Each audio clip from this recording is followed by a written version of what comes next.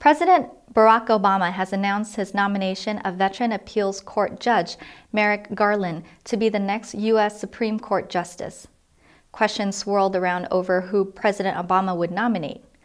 Would he go for a young, outspoken liberal? Or would he choose an underrepresented minority or a woman that would force Republicans to risk angering key voting blocs if they were to fail to confirm his nomination?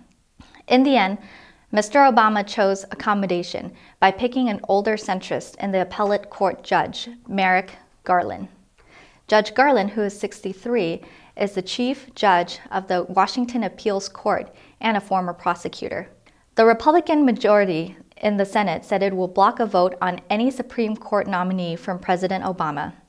Republicans have called on President Obama to leave the nomination to his successor, who will be elected in November. The death of Judge Antonin Scalia, a staunch conservative, left the nine member Supreme Court evenly divided between conservatives and liberals.